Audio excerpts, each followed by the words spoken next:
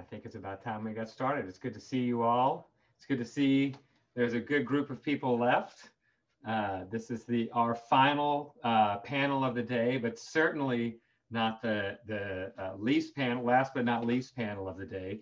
Thank you all for joining us um, for session three, which is beyond technical and it gets into policy adoption and health concerns related to privacy and contact tracing and proximity notification. Uh, I'm incredibly excited about our keynote speaker and the panelists that we have uh, lined up uh, uh today. Um, I'm going to, we're going to have a, first a keynote, keynote talk from Julie Schafer, uh, and then we're going to have about an hour and a half panel discussion. Um, so first I'm going to turn it over to uh, Brian Cunningham, uh, the creative director of UCI Cybersecurity Policy and Research Institute to tell us a little bit about our keynote speaker. And then um, we will have that talk and then I will introduce our panel and we will go to panel discussion. And Brian will also, Brian and Julie will also be joining us on the panel. Thank you, Woody. Uh, thanks to everyone who's uh, still awake, particularly if you're in uh, European or, or farther time zones. Uh, thanks also to my UCI colleagues, Athina and Gene, for such a powerful, enlightening, and provocative morning. And thanks to all of the folks that made it that way. Very exciting for me to be here with a lot of old colleagues and friends. Uh, not by any stretch the least, least of which Dr. Julie Schafer. Julie is the Chief Technology Officer for Flu Lab, where she seeks to stretch the boundaries of how technology is used in order to defeat influenza and more recently COVID-19. I would have to say that's a, a timely meeting of uh, experience and skill to the moment. Before moving to the philanthropic world, Julie spent 15 years in the US government, most recently as Director of Strategy at the Biomedical Advanced Research and Development Authority, BARDA, which is charged with developing vaccines, treatments, and diagnostics for international and naturally emerging threats. Also timely. Uh, prior to that, she served as Director for Medical and Biodefense Preparedness Policy in the White House National Security Council. And during her time at, DA, at the Department of Health and Human Services in the US government, Julie co-developed numerous strategies and plans, including the HHS Pandemic Influenza Plan and co-founded a new division in BARDA devoted to accelerating transformative solutions to drive uh, to dire health security threats. No word uh, about whether they've done anything about zombies, but we'll let Julie talk to you about that. Uh, finally, Julie is a, a, valued colleague of mine in a public health messaging nonprofit that we both serve called No COVID. And I'm pleased to say a friend, we couldn't have a better afternoon keynote. Welcome, Julie. Thanks so much. And now comes the most stressful part of my day is when I try to share my slides. I'm gonna hope for the best team. Okay.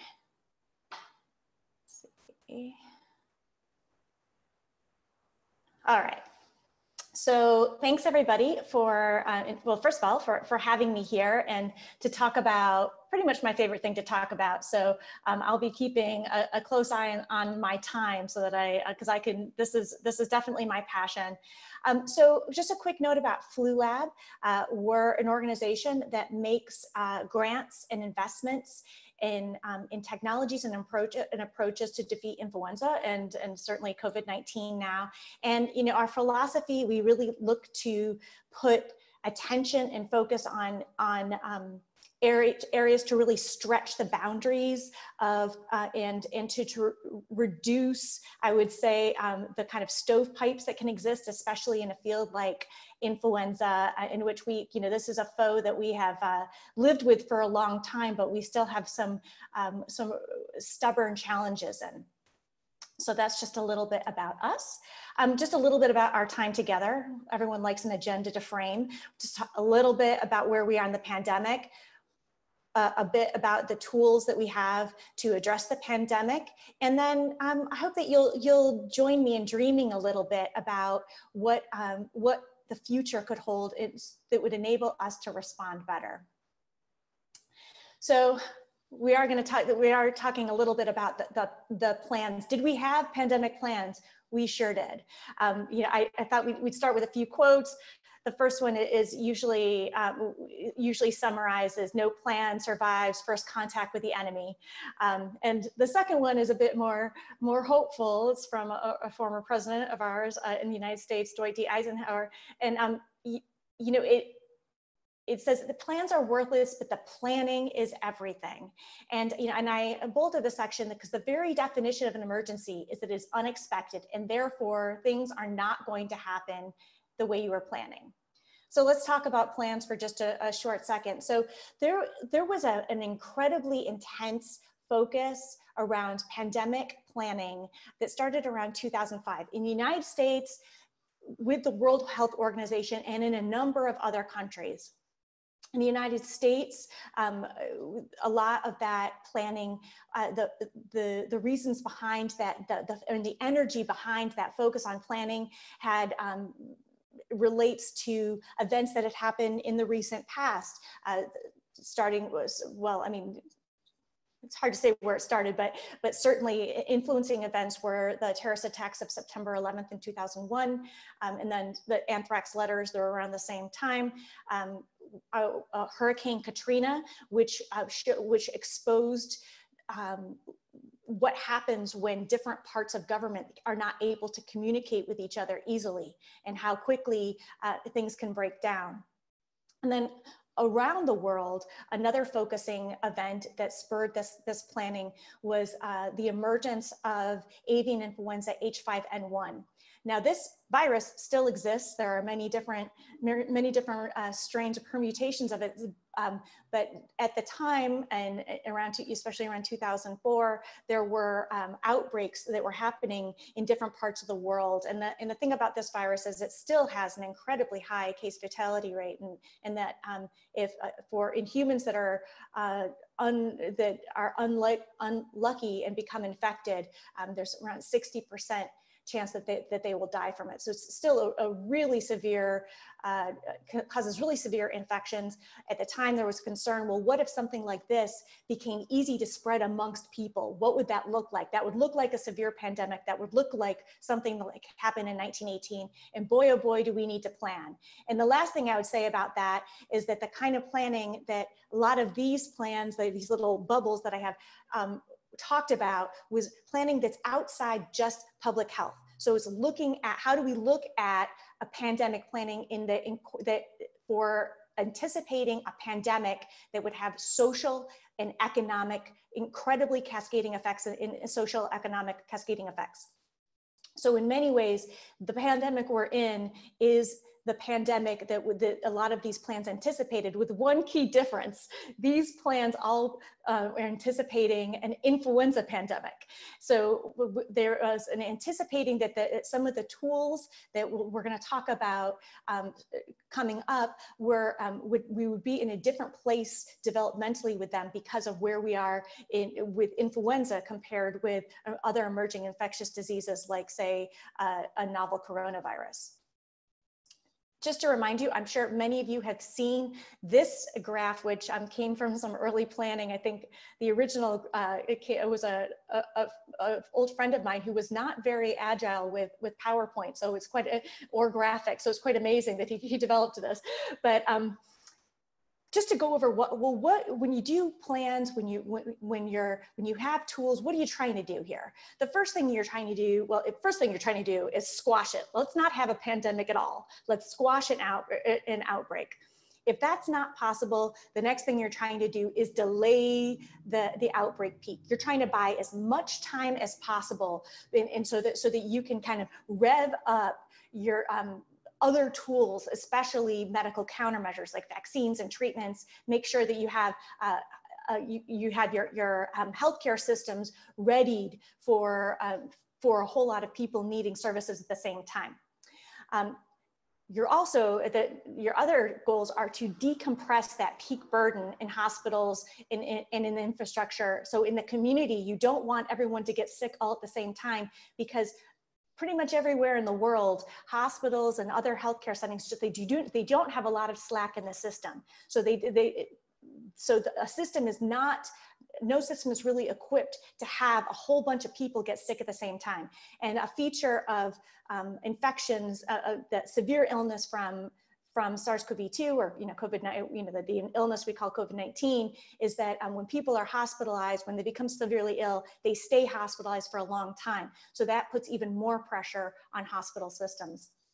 And of course, the overall goal is just to diminish the, the total number of cases and the and the total health impact. So these are this is what what we're trying to do with the with the tools that um, we're going to talk about.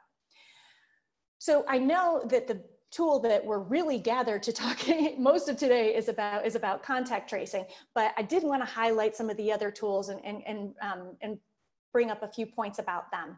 So in that white box, um, those are the tools, the, these are the tools that, that most of us are uh, experiencing every day. Um, we are living, we are living these tools right now. So um, isolation and quarantine, um, social distancing, so having space between people, um, face coverings, of course, and, and, and contact tracing, who I talked. Something that I wanted to mention about this, and it, that's quite kind of stunning when we think about uh, where we are um, the advances that we have made um, in so many other aspects of our daily lives is that many of these are centuries old. So quarantine, that you know, so that's 14th century Venice. Um, we in, in, the word and and the and the word goes around 40 days for how long people they wanted uh, ships to stay uh, before docking to make sure that there was any infectious disease on the ship they wouldn't bring it on shore. But that 40 days we think was derived from some ancient greek texts. Um, social distancing some of the you know six feet or like how you know one meter or two meters how far we need to be apart from each other. You know some of the the earliest literature on that is 1897 so um, in, in, face coverings, I mean, I'm sure all of us have seen kind of like the beak-like uh, plague masks, and then um, and then the more um, the the photos that, that many of us have seen, especially recently from from 1918. Um, you know, these are these are not these are not new approaches that we're looking at. And, and contact tracing also has a long history that um, might have been covered in some earlier lectures. Um, you know my my my point around that is that um, this reflect, and what I would argue is that this reflects our priorities. So we are depending on these really old these you know these old tools because it is we have not put a priority on creating better tools to uh, to address a novel a novel infectious disease this gray box, these are the, these are the tools that um, are often need to be tailored to the pathogen in question. So of course, diagnostics, luckily we can usually use platforms that, um, you know, we already, basic technology, diagnostic um, technologies, but we do need specific um, material, to, you know, toward that pathogen. So reagents and assays and, and um, treatments. Um, you know, when we talk about viruses, treatments are incredibly complicated. Um, antiviral treatments, I'm sure it, would be great to have a lot of broad spectrum antiviral drugs so that if a new virus emerges, we've got a treatment that, that can work. Um, you know, something that, that's especially complicated about antivirals is that um, one can, it's, it's one can have a broad a, a, a, treatment that's really effective at ad addressing a whole lot of viruses, but it's but it's often not suitable for human use. So the thing that probably makes it so effective against viruses also makes it a little bit more effective against humans than we would we would like it to be. So it, it's very it's super uh, challenging. And then, of course, the last thing is, is vaccines. And um, I think that many, some of the things that came out this is a, a, big difference from when we talk about the tools that were planned on in, in all of those plans is that um, and how long we'd have to use those tools that are in the white box is that um, if we planned on an influenza pandemic we have many many licensed influenza vaccines. So the, the idea and the planning behind it is that okay we, we see a novel influenza virus. It's got pandemic potential. We think it's a pandemic. Well then we immediately start making influenza influenza vaccines that are that are tailored to that virus. That's not really that we were in a very different place developmentally with SARS-CoV-2 vaccines where we were didn't did not have vac, uh, did not have um, vaccines that we could easily do a, a, a quick strain change, as we call it, um, like we do, you know, this is something we do every year with seasonal influenza vaccines. That's why you get one every year because they're slightly different. They have different strains in it. So instead of being able to do a strain change for a vaccine platform that we understand about, we had to kind of start really early in development. And so then that makes us dependent on these older tools that um, have a lot of cascade can have a lot of cascading social and economic costs to them as, as we all are experiencing now. Um, we have to hold on to them a lot longer because the wait for vaccine is longer. Just a few points on um, vaccine, on I mean, I, I recognize we're on we're in a contact tracing uh, meeting, but it's but it's, it's an important thing, and it, because it's a little different than a lot of the other plans, I thought it was worth focusing on. Um, boy, we're really early in development, but boy, are there a lot of options. And um, something that is is quite amazing for those of us who work in this space is how quickly um, and how many vaccines are in phase three studies now, given how early we were in development when we started thinking about a SARS-CoV-2 vaccine.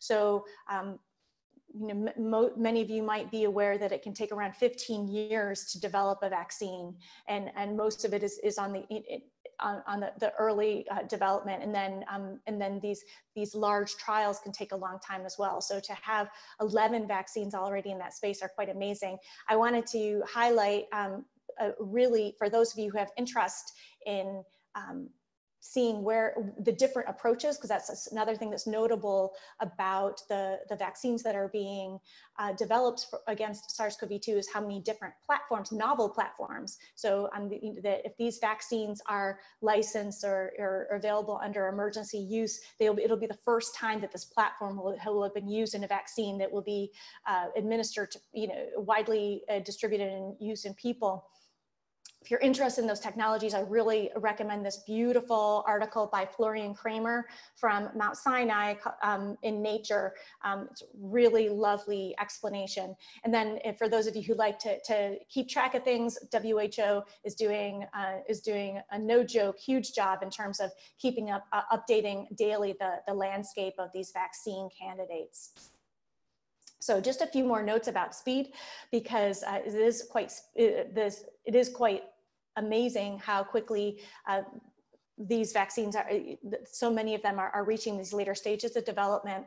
But i also it also goes back to, to what i mentioned about priorities. So you'll see at the bottom those really long timelines for diseases that um, uh, natu naturally emerging diseases um, novel viruses uh, fairly novel i'll say for zika. Um, you see that, that really long timeline. So Zika, um, we hadn't, we really didn't have any vaccine that that um, could could be uh, thought considered for Zika. So really starting from scratch. But you'll also see that that and SARS um, petered out. So so when the so we, there was an outbreak, there was a lot of concern. There were a lot. Uh, there was a lot of funding put toward developing these um, vaccines and therapeutics around, uh, you know, to fight these viruses. But then when the, um, when the emergency died down, the funding went away and, you know, things are always happening and, and attention was diverted.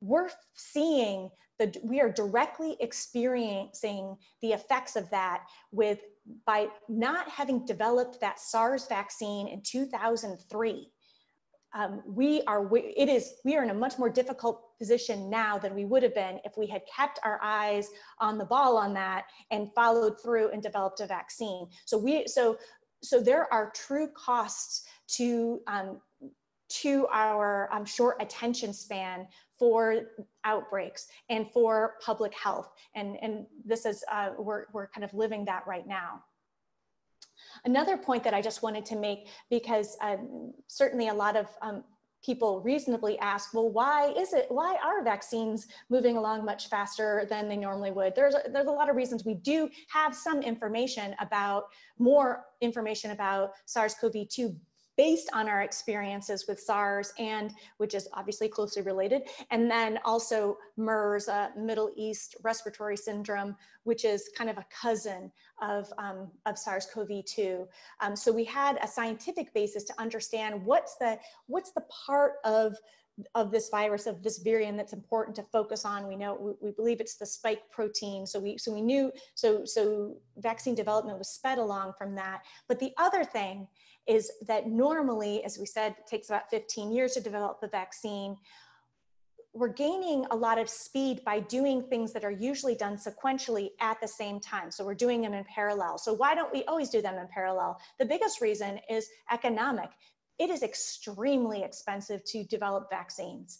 And so for to mitigate risk, economic risk, these steps are usually done step by step by step by step so that if there is a if a problem emerges in any step we you haven't lost money. So if let's say there's a problem that emerged in trying to to manufacture more make more because it's kind of as, as you would imagine when we try to make more vaccine it's not like you know doubling a cookie recipe. It's um it's it's a, it's a complicated process to do. It's called scaling up. So if a problem emerges during manufacturing um, then in the if you're not in the you don't want to be in the middle of doing large phase three studies which are which involve a lot of people and a, and a lot of usually com, uh, complex logistics um, because of the, the economic loss. In this case governments and especially the united states government um, are, are investing billions dollars to de-risk that for for these vaccine manufacturers so that they can do steps in parallel that they would normally do um, sequentially so with the rest of my time, I just wanted to um, uh, ask you to, to join me in some, some dreaming a little bit. Um, what could be and and how could we better use the tools that are available to us are nearly available to us to make responses better and to and, and to really improve health i would argue all the time the and so really what it, i'm going to focus on testing because it really what it but i'm really talking about thinking about testing really differently. So many of us when we think about testing we think like oh something's happened and then i go to a healthcare provider and then they administer something. And maybe that gets um, processed at the doctor's office or maybe it goes to a lab but it's it's something that i go seek healthcare for you know to address what I'm proposing is really is, is integrating testing for infectious diseases that spread regularly. So right now it's COVID-19, but um, this could, I, I, certainly would see clear applicability in influenza every year. Um, integrating, thinking, um, test, testing uh, in a different way into our daily lives. So signaling. The question that signaling is trying to answer is, has something changed? So I, I think of it as the check engine light. So um, for a person, that can be um, that can be and there's a lot of advancements around wearables and biosensors and things that are on the person or near the person that um, so we, there's continuous so so wearables would be continuous monitoring so you know the, detecting using algorithms um, along with our wearables and that, that can detect cha meaningful changes that signal that kind of like that check engine light, something's changed. Um, but you know, as we identify better biomarkers, it could it, it could be just you know just pinging if that marker pings. It's also participatory surveillance. Now, this exists right now. You know, COVID near you, flu near you, um, just that that kind of asking people in communities, hey, how are you feeling? And to give on a, on a population level a sense of what's going on in in um, a, a, a, less sensitive i guess a less sensitive less specific way both less sensitive and less specific but just as a signal. Then we think about detection. So what i'm calling detection. So could this per person be currently infected with sars-cov-2 so what i'm talking about with that is um, we, we demand, and appropriately so, demand a, a certain a certain uh, certainty of testing that if you go to the doctor's office, you want the test that you take there. You want to be pretty sure that it, if, if it if it says you're sick, you're sick, and if it says you're not sick, you're not sick. What if we had this kind of this other category where it's it's it's gonna it's it's probably gonna pick it up but we're really using but we're using it a little differently. And that's where we can think about really low cost incredibly fast and um, really easy to use in uh, um, tests. So paper so paper based tests um, that are really just giving, and, and I think that the, um, the antigen-based tests that are coming, become more are becoming available in the United States, certainly but thinking about them in terms of um, having them places in the home, having them at work and school for quick testing. And hey, we all, most of us are live in environments where we regularly, well, when we were out and about, we go through metal detectors and other security, say for when we get to the airport or, you know, enter, uh, go to a, a lar an event where there's a, a, large gathering of people. We have accepted that we, that, that, that, that security is something that, that's how we, that's how we get to what we want. Can we integrate this kind of detection into into that process? And imagine what how it would change the way infectious disease spreads in communities or to the way it would prevent the infectious diseases from spreading in communities if we could just pick out those people who are shedding a lot of virus if we could just pick out those super spreaders what could that mean? Um, you know, keeping, keeping on moving, um, that for diagnosis infections, of course, we, we want the you know, molecular tests, those, those really, those ones that, that have, you have a high degree of certainty that the test is, is, um, is has a high sensitivity and specificity, but what I would, I would, say for that is that we want them available in multiple places. Not everyone needs to have home-based molecular tests. They're probably always going to be kind of expensive. But what if more people had home-based molecular tests? And those people, when they use those tests and they they get a, a, positive result, they stay home. They don't they don't guess and, and say, oh, I'm probably probably okay. They stay home. Imagine how that would change how infectious disease spread in community. And last, I would just put a little point because I know a lot of people ask about antibody tests and um, you know they they answer they ask they answer they seek to answer a question if a person has been exposed and mounted a response a, a, um, an immune response to a uh, to a particular pathogen a virus um, I think that this is an, is an example of something that the policy meaning can change as we get more information. I think early on we were kind of hopeful that um, that widespread use of antibody tests would could even, and certainly there are some um, some entities that were really interested in, in pursuing things like antibody passports, like immune passports, like, okay, I've got this test, it says, it says plus, I have, you know, I, I have the antibodies.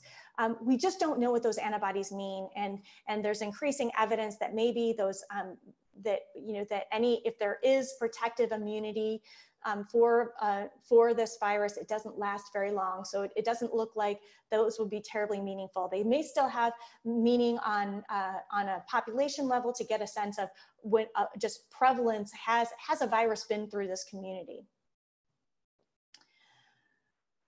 So um, as, so of course the question will be, and, and, I'm sure all of you are asking it every day, and, and um, is first of all, when will this end? And what I can't offer any insights on that, but what I will offer is that I believe how it will end will be a layered approach. And um, I think that this uh, I haven't really never decided who exactly coined this, but I'm going to credit uh, Marty Cetron at CD, longtime um, director of the Division of uh, Global Migration and Quarantine at CDC, what he called the Swiss cheese, uh, Swiss cheese approach, that each of these interventions is imperfect, but if you layer enough on them, all the holes are covered up. So vaccines they are uh, they are uh, probably a big component of how we get out of, of how we get out of our current situation. They might be imperfect. They may not be the whole component. Well it might still need for a, for a time to come to use those face coverings.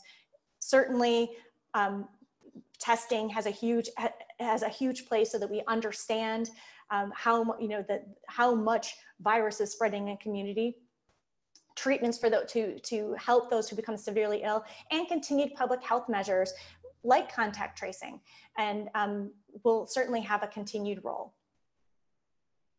And just some closing two word thoughts to review what, what we just talked about is um, the, where we are now and where we're going are, are, are, are reflected priorities we don't have necessarily the public health system that would be best to uh, to have supported a, a, response for this pandemic. That has to do with budget cuts, that has to do with public health not always being a huge priority.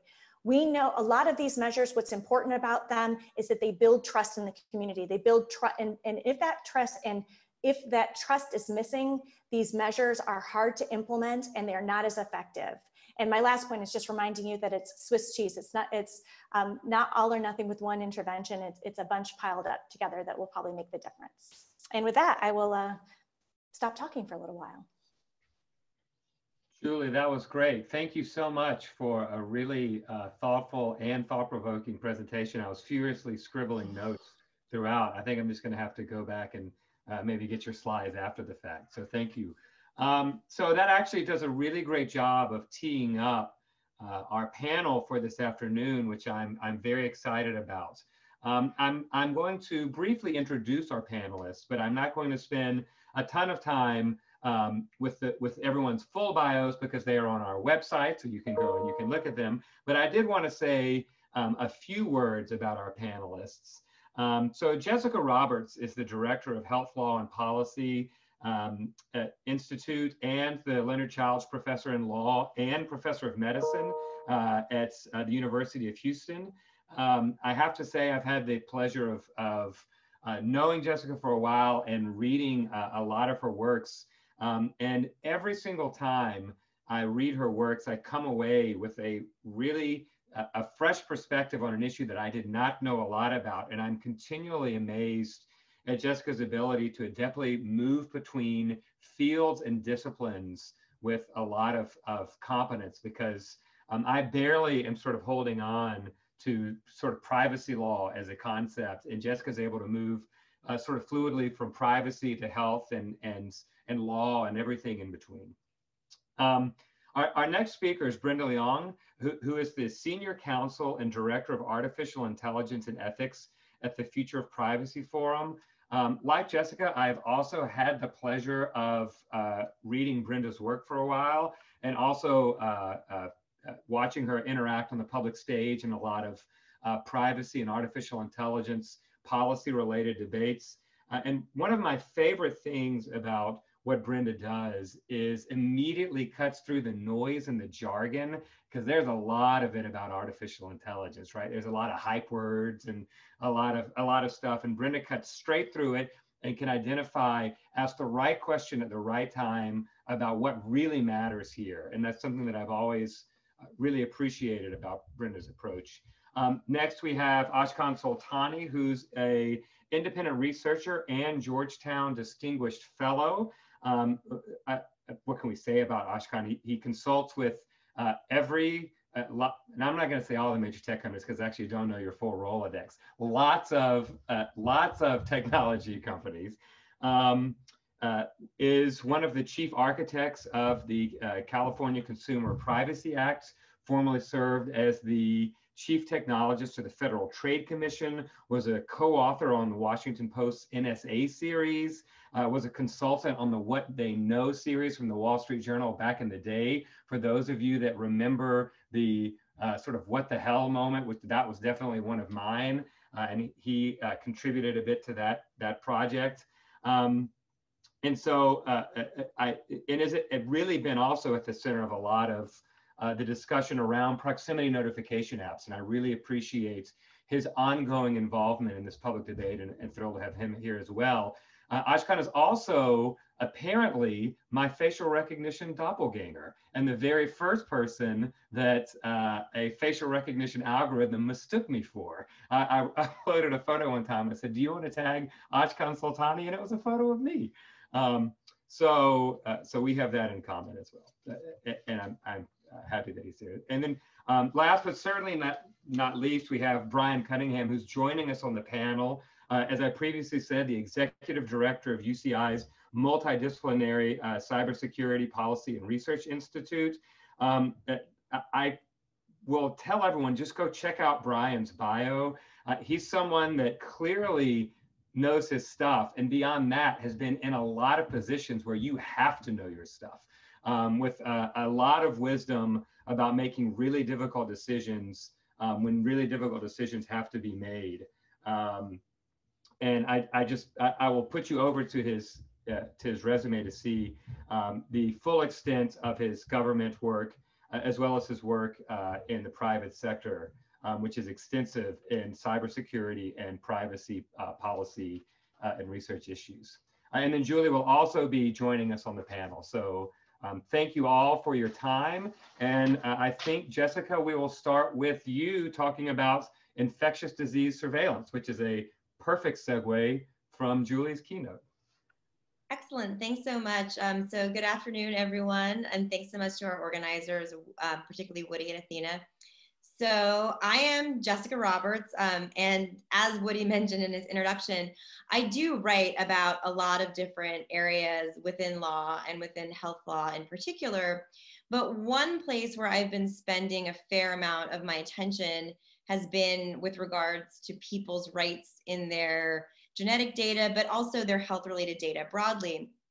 And the project that I want to share with you all this afternoon is actually a collaboration between myself um, and some and a couple of my colleagues at the University of Houston Law Center. So one of my co-authors is Emily Berman, and she writes about national security law.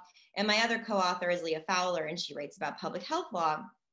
And in the early days of the pandemic, we were all struck by how national security experts spanning the ideological spectrum were weighing in on the legality and desirability of digital contact tracing efforts. And so law and order types advocated mandatory universal um, contact tracing, while advocates of civil rights and civil liberties cautioned against mission creep and authoritarian power grabs and indeed, these Fourth Amendment experts seemed right at home considering the benefits and the drawbacks of digital contact tracing efforts in the United States, except there was just one problem. Digital contact tracing is not national security surveillance. So efforts to track the spread of disease uh, sound squarely in the register of public health. So we asked ourselves, this question, you know, seeming as we were one national security person and a couple different health folks, why were national security scholars so eager to weigh in? And what did that mean for digital contact tracing? And where we sit now, do any of those insights by about thinking about this interplay between national security and public health, can that help us explain why digital contact tracing efforts succeeded elsewhere, but seem to have largely stalled out in the United States? Um, and we actually start our our uh, paper from the, the proposition that national security surveillance um, and disease control represent two distinct kinds of paradigms of monitoring. Um, and they, they differ across at least three different matrices. So that is the role of consent, the scope of the collection, and the subsequent use. So traditionally, contact tracing is cooperative. You need to, to talk to people and figure out what's happening with them and where they've been and, and, and whom they've been with. Um, it tends to minimize data collection to protect the privacy, privacy of the individuals who are implicated. Um, and also disease control and contact tracing generally restricts subsequent use. So you're not supposed to be able to repurpose this information that you collect in order to track the spread of disease. And this stands in stark contrast to national security, which by its very nature requires secrecy. So if you're engaging in national security surveillance, you don't want the target of your surveillance to know what you're doing. Um, also, too, national security surveillance maximizes the collection under the mosaic theory. You sort of don't know what's going to be the needle in the haystack that could break open the whole thing. So you collect as much data as you possibly can. And generally, as long as you've lawfully collected that data and there's no intervening statute, judicial opinion, or regulation, you can repurpose it. And also too, these, these two models of data collection have different implications for the government as a, as a data steward. So the covert nature of national security means that surveillance has led to distrust. Um, and then when you take mosaic theory and you're collecting all this information and able to cross-reference it, that leaves the opportunity for potential aggregation problems with respect to, to privacy and what it can reveal about a person. Um, and then national security tends to have greater implications for people's civil liberties. So when you're talking about public health, you might have isolation or quarantine as a result, but national security has you know, immigration and law enforcement kinds of implications. So we really thought that these are two separate kinds of a kinds of paradigms and because you know when we're thinking about digital contact tracing including in the current pandemic um, this is a public health initiative. So that means that it should adhere to the norms and the goals of public health. Um, and it's not just enough to get the information by itself. You actually do need people to cooperate uh, because Bluetooth pings and geolocation data don't convey crucial information like you know how long you were in touch with a person or whether or not one of you was in a mask or even separated by a wall. So it's our argument that to cultivate the necessary trust, public health officials should minimize collection and limit subsequent use in an effort to gain trust. Um, but despite the public health purposes, and I will actually stop sharing my screen now because I don't think it's necessary. Despite the public health purposes of digital contact tracing, individuals regarded it with a lot of skepticism, right? And many of these programs didn't take hold. And, and we can ask ourselves why. And we think it's in part because of distrust. So, when asked about digital contact tracing, people not only express distrust with the government, but also uh, new technologies, kind of generally, and big tech. And so we believe that that this means that individuals that are interested in successful digital contact tracing need to do more than in perhaps traditional other kinds of disease control situations to gain the necessary public trust. Um, and these, we found that the fact that um, individuals are, or the fact that digital contact tracing efforts have not been especially popular in the United States, might just be due to many anxieties traditionally associated with national security because digital contact tracing tools and national security surveillance tools look really similar and it boils down to one word, which is technology. So if you want folks to feel comfortable with digital contact tracing, you're gonna have to do a little bit more um, you are, we are in fact using technological tools that look a lot like national security to do the work of public health. Um, and we think that it is entirely possible to cultivate the necessary public trust. It's our hope that we can do this before the, the next pandemic. Um, to start, it's not enough to let the industry regulate itself. So Google and Apple did their best to create something that was trustworthy, but still I think three out of five Americans weren't interested in using the technology. We might also consider statutory approaches. So something like the GDPR, but also perhaps a public health emergency specific data protection statute might be something that could be more likely to pass the United States. Um, we could also look to regulatory approaches. Probably national security regulation like minimization procedures won't be enough, but giving the FTC some authority to be able to engage in oversight, particularly for some of the consumer products might be useful. Um, and some of the proposed statutes would charge the FTC with enforcement. Um, so we don't think that any of these potential trust building um, trust building approaches alone will be sufficient but we think a combination of the three so if you have industry innovation and commitment to transparency privacy and data security along with legislative interventions to set standards and offer remedies and finally regulatory oversight to monitor and enforce um, that these three things combined might then give us the necessary trust to get the buy-in for people to want to use these technologies um, and it's our hope that if we can commit to this kind of a hybrid approach going forward, we can have the necessary infrastructure in place to engage in successful digital contact tracing. And I am afraid I spoke too long, but that is all I have. Thank you. That was great. Thank you so much, Jessica. I, I appreciate it. All right. So next we have uh, Brenda Leong, who's going to talk with us about contact tracing and civil rights. Thanks, Woody. Thanks very much for the invitation to talk today. I'm never letting you introduce me again, though, because that's way too much pressure. Um, so hopefully I can live up to that uh, warm evaluation of, of my contribution. Um, I do want to talk today about contact tracing and civil rights. Um, Evan Selinger and I had written a piece recently for um, an OECD outlet talking about this specifically and it seemed to fit in really well with the topic of today's event and so thought i would reiterate a couple of the, the key points from that that we um, you know presented and concluded there were sort of baseline threshold questions to be considered in this context. So this is a little bit of a variation for me from the work that FPF generally does, which is more focused directly on the privacy risks or the privacy implications of data collection and sharing to, to broaden that picture out to include the civil rights impacts um, more generally. So includes both an individual and a group or a collective community aspect to that.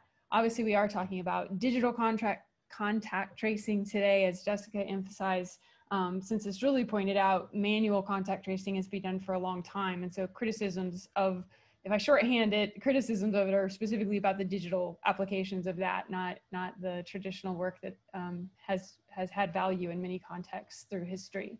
So our point here is that the threshold question needs to be on any kind of, um, particularly when you're taking a process like this and turning it into an automated or a technology based system um, of something that that you do already do or that does seem to already have value the threshold question has to be does this work at all? Does, does it even do what it's purported to do? Secondly does it work well enough for the contextual task that it's being asked to do for the the way it's being used? And then if if it makes it over both those hurdles what are the short term and the long term implications for civil liberties that might be implicated that might have not been in place in a non digital version of, of a, a process or, or um, uh, you know, uh, policy in the past. So in that context, you would also ask, are there mitigating versions of this? Are there alternatives? Are there ways to do it, you know, partially or differently so that they assuage the larger risks sufficiently? Um, and how does that balancing evaluation even get done? How do you how do you decide whether the benefits of something that maybe works somewhat but not perfectly are worth doing if it, there are some civil rights implications as well? How serious do those have to be before you say yes or no? And I spoiler right now, I don't have a silver bullet answer to that. So we're not going to get to the end with me giving you um, great insights into how to, to weigh those pros and cons, but at least hopefully taking away the idea that that really has to be done thoughtfully. So to start evaluating uh, contact tracing, we would start with the question of where are we already in terms of surveillance tracking data and how that impacts our civil rights. And we can see all around us reporting um, excellent report from the New York Times last December about civil uh, about cell phone um, location data tracking and how much they were able to infer by gathering some of that um, data and seeing, you know, identifying people who were supposedly not identifiable and not only identifying them, but tying them to multiple aspects of their, of themselves, their work, their home, their hobbies, their travel, whatever that might be. So we know that this is already um, a, a, big concern and a big threat in terms of tracking of individuals based on their data. And we don't have a lot of protections in place against this yet. There have been a series of court cases that have tried to address controls or limitations on this, everything from limiting access to the cell phone itself if you're arrested and taken in. Um, but there's you know still a lot to be resolved in that in terms of if you have a biometric access to your phone they might be able to force you to give access whereas if it's a password they can't um, which is not really sensible in the modern world, but there we are. And then um, physical tracking of the of you via a device that's somehow attached to you versus just collecting data after the fact from your cell phone provider. And what are the timeframes that are reasonable? You know, in Carpenter, they decided that seven days was some kind of magic number that that less than that could be obtained and more than that would require different levels of process or service. So all of that is still very unsure, very unprotected in a sense, and, and the implications on our civil rights are not entirely clear either, although I think we all sort of feel intrinsically that those things are a threat that need to be addressed um, before it's out of our control. So does contact tracing work then? Well, when infection rates are low and there's sufficient testing available, probably probably at a level that, that makes it useful. Early in the pandemic, we saw some success of this in various countries um, around the world and seems to have some value. There are a lot of variations though in the kind of apps that are used, how they're used, who collects the data. Is it a GPS or a Bluetooth based system? Is there central storage of, of data in a, a, you know, is all the data funneled into a central repository in terms of like a health agency and a government? Um, or is data kept locally on the device? What are the adoption rates? What's the compliance with the protocols of going into quarantine if you're notified that you might have been exposed? Um, and what are the notification levels broadly to the facilities and businesses and other um, parties to this in addition to the individuals? And then again, it all comes down to what is the ease and availability and speed of testing accuracy, which is of course one of the places where the US has struggled the most. What are the risks of digital contact tracing then? Access by new players to new types of data uh, on your phone and device. If we're already concerned about the amount of data that's being collected, particularly location and tracking, now we have more agencies and groups, um, maybe health agencies at a state level, maybe the CDC, maybe the platform provider of whoever is, is um, producing that particular app. Um, and it's not to say any of those people have bad intentions, but you have just increased the pool of people who have access to data. Um, and then, as I mentioned, one of the key bifurcations is the storage of the data. Is it kept locally on the phone or is all this data uh, combined somewhere in a central place, which then leads to an almost overwhelming temptation for secondary uses when it's a, a vast database of individual um, records that is can be analyzed for all kinds of other things, whether health related specifically, potentially related to pandemic controls, and then of course potentially related to other things as well. So we find ourselves then ending up at the question of is, is there an expected collective demonstration of an individualized behavior sufficient to stop the spread of this disease? And as I said, I think we've seen different answers to that in different countries because of all those variables that are involved. But if the answer is no, if it, it doesn't seem likely to have that impact, then it just shouldn't be done. And it definitely shouldn't be done halfway or as some sort of panacea that ends up being what has been in other places called security theater, um, in the uh, desire to have been seen to do something, which Evan and I have written about this, other people have written about this, um, actually can increase the risks rather than doing nothing at all um, by making people feel safer than they are and causing them to actually act in ways that, that increase the risks. So maybe I've over, maybe it feels like I've overemphasized this question of efficacy, does it work or not? But it's really the threshold standard that too often we just roll right through and decide because there is a tech or there is a digital version of another process that we should do it without really stopping to think about whether it's going to get us what we want. And if um, if we can make ourselves take the time to ask that question and come up with a reasonable answer and not do it, that's the safest of all in terms of the data and the risks and the other implications, especially when we come to the conclusion that it's not actually going to give us the public health improvements or the protections that it that it was being considered for. So in that then implication on civil rights, there's the normalization of tracking technologies. Um, we already carry our phones everywhere we go. We just sort of accept the fact that that location data is out there. We already have a lot of normalization about health data being passed around between insurers and providers and labs um, and other people. So now we're going to, you know, expand that uh, type of data, which is very sensitive and personal data, into this um, bigger pool of our own breadcrumbs, digital breadcrumbs that we're leaving behind us. And then that opens the door to all kinds of mission creep.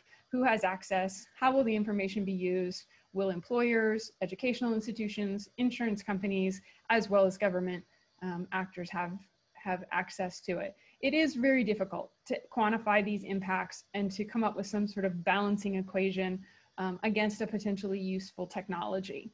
There are different risks at the individual level than at the collective level sometimes, and that makes things more complicated. Um, sometimes there is benefit, but only if enough people do it collectively, and so you have to convince individuals to do it. Sometimes there appears to be an individual incentive to do it, but then the harm comes when it's aggregated across a lot of people in a community adopting a technology. But there are clearly real threats, um, and in some cases where there's this individual group or community uh, dichotomy, that makes it harder to have that um, consideration. Um, but basically, this sort of collective action requirement imposes these problems, and only a collective action examination can really assuage them. That's it. Great. Thank you so much. I really appreciate that. Um, and I appreciate uh, focusing on both the efficacy, efficacy question and uh, how that affects civil rights, which I think is a, a obviously, Brenda, you know, I would probably agree with this, a key component in this in, entire debate. Um, next, Ashkan is going to talk with us about, uh, I think, proximity notification apps, right? Kind of. Okay, let her rip. Cool. Well, thanks for having me, Woody, and, and everyone. Um, and thanks for thanks everyone for willing to be engaged on these issues, including Google and Apple. Um, I, the comments earlier really resonated with me, particularly Brenda's comments just now, although that shouldn't be surprising given Woody picked the panel. Um, a quick correction: I don't consult for the any for pay at least for any of the tech companies. Although I do work with a lot of enforcement agencies and AGs to investigate them. So just wanted to make sure that's clear. Uh, right. And I have had the pleasure to work with Brian actually on a TV series some time ago about privacy and surveillance. So um, lots of uh, familiar faces here. So um, I was here to just to start. I was uh, happy to hear the presentation um, by Gilles this morning about how the technology works and what the trade-offs are. I think that my key talk will be about how I kind of disagree with um, the presentation in two key areas. One is um, what those kind of privacy security trade-offs really are, and more importantly, that um, that platforms like Google and Apple should be the ones to to bilaterally make decisions about how those trade-offs are made. Um, and so quickly, we'll just talk about what those trade-offs are. We can, you know, maybe look back to March or April when we first started um, understanding the significance of the pandemic. Um, and in the early stages of the outbreak, we saw a quick response by a lot of academics, a lot of you know platforms, a lot of um, researchers, app developers. We saw something like 50 or 60 different approaches to do contact tracing at that point. Um, we saw that Singapore and Korea had apps that were deployed. Um, other government health agencies, the UK, Australia, they wanted to build apps and tools to assist with controlling the pandemic. Um, and very quickly, we learned that, that these systems didn't work very well. Initially, because of um, restrictions on the platforms, on Apple and Google's platforms, not just around privacy, but just around performance and uh, uh, uh, battery life. For example, apps couldn't collect certain categories of information like Bluetooth and location in the background effectively. And we had, um, as a result, a lot of false negatives or instructions. If you remember in Singapore, you were instructed to leave the app open in the foreground and leave it running. So not use your phone as a phone, but leave it, you know, as a, as a tool to always have on for these um, proximity tracing apps. Um, and there was real pressure on the platforms to do something to fix the problem. Mean, I don't mean do something in the sense of come up with an API, but as you know, I don't want to make this a discussion about market power and competition, but the two platforms are also the critical gatekeepers on what apps get approved in the App Store. And so while there was a lot of concern around apps that were not were crashing or not working well or using too much battery, there was a lot of pressure on the platforms to fix the, background collection to allow um, the health agencies and these apps to actually collect uh, the information they needed to do contact tracing. So in response, rather than kind of um, modify the platform to allow background um, Bluetooth collection, they instead created the, um, the uh, exposure notification API. Um, and I'll point out at that time it was called the contact tracing API in its first iteration.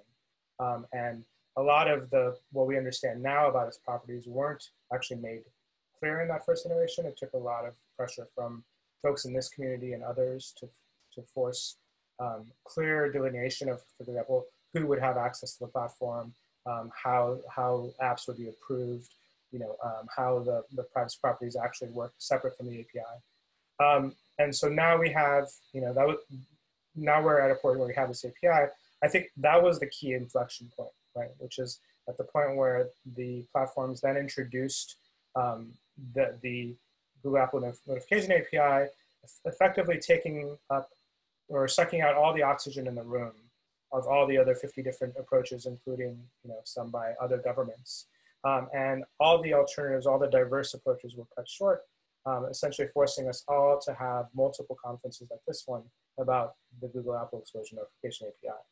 And um, you know, surely you can still, or you could then take any other approach, right? That was a response to the French government and to the um, initially to the UK government. Of course, you could write your own apps. It just won't work very well on our platforms. Was a response. So as we often see, the key policy decisions that could impact millions of people were made pretty much bilaterally by these two large tech actors without a lot of consideration on whether those were the right um, trade-offs.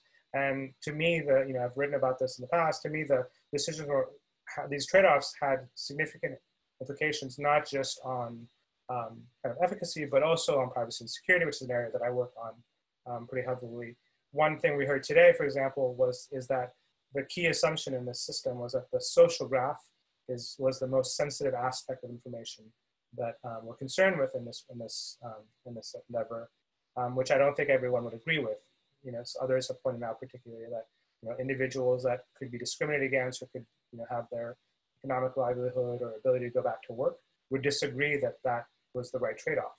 And as such, you know, we've highlighted that, um, uh, for example, um, separate from that, that there are privacy and security vulnerabilities. Um, there's also the, the kind of meta question that we've still not addressed, which is whether even Bluetooth proximity tracing is the right approach. The earlier speaker commented on that. And we all, I'm sure, now are intimately aware of all the issues around false positives and, and false negatives that could occur from a technological approach like this one. For example, if we have the phones in our back pocket, um, we're going to get significantly less signal strength and less uh, likelihood of proximity um, than if it were in our shirt pocket, right? Um, and alternatively, if you're, you know, the apps will not know whether you're wearing personal protective equipment or you're separated by walls or you're outside versus inside, right? So none of that information is available to these apps, um, but yet we're still um, uh, relying on them, which I think not only leads to the issue of um, false positives, but to me significantly leads to the issue of overconfidence that, um, that we're relying on these apps, particularly when they're low adoption, to tell us when it's actually safe to go outside. Um, some people might have seen that like in Virginia, the Virginia COVID Safe app will alert you that you've not encountered someone for the last two weeks when you get this notification, which I think, you know, again, signals overconfidence because it only applies to people that also have this app running and that if you're in fact not falling into one of these false negative situations because of space or signal issues otherwise. Um, the other the other question the the another area in overconfidence is the the the the overconfidence that people will actually trust these systems, right? That even assume that the signal mechanism and the Bluetooth and or GPS-based location proximity for any of these approaches are effective to tell us whether or not we've actually been in contact, a significant contact for exposure event, there's overconfidence, I think, that people will pay attention to these notifications. Like these are the same notifications that tell you, you know, you have a like on Instagram or that like Karen465 saw a person of color in on Nextdoor, right? Like I, I suspect that like they're going to get buried with all these other um, notifications, particularly, uh, and, and, and people are going to ignore them, particularly when it comes into uh, areas that might impact your ability to go to work or go, you know, to go, uh, you know, uh, take your kids to school, etc.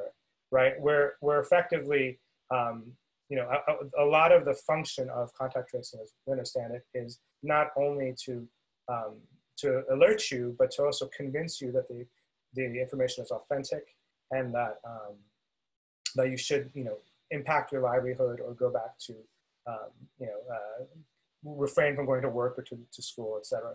Which I'm not sure a pop-up dialogue on an app will will uh, will achieve. Um, the, the other kind of area to me that trust in the system is around security and abuse, an area that's um, close to my heart. Um, and I agree with the assessment that right now these issues are minimal, but the, the reason for that isn't that the protocol mitigates them properly, but it's that there's not widespread adoption, right? And so my, the, it's kind of a chicken and egg problem where if there were to be very widespread adoption and reliance on these apps, then the security considerations and trade-offs become very significant, right? And and even to um, you know, uh, some folks might have seen my back and forth with with um, deals on this, and other researchers have flagged this that that hijacking these platforms to generate widespread false alerts is very much possible, right? So um, the uh, the you know the assumption is that they're too costly or too um, difficult to implement, and I want to just kind of dispel that myth. Um, you know, I, I, one attack I've demonstrated is that is this relay attack, which which Gilles highlighted this morning, which is um, to, to just lay, lay, it out. You essentially install a device at, at some point where there's likely to be high positive um, positive exposure events, so maybe outside a testing facility, and that device in real time relays uh, uh, these chirps, these rolling proximity identifiers, to a network of other devices that rebroadcast that. And the assumption that, and the, you know, the mitigation that we saw, the mitigation slides, were that either that you couldn't do this because of timing attacks, which is not true. You could just do it in real time. And two, that the, the platforms themselves, um, you know, mitigate this and it'll be too costly to do otherwise, which is again, not true because you can actually do that on either older phones, older iPhones, older Apple phones, um, older uh, or rooted phones. I have this uh, $40, um, you can see this, this $40 uh, kind of um, Bluetooth uh, Wi-Fi based um, uh, kind of Arduino type device that you can just leave and it basically just relays um, relays the signal to another one of these or to my laptop, which then rebroadcasts, right?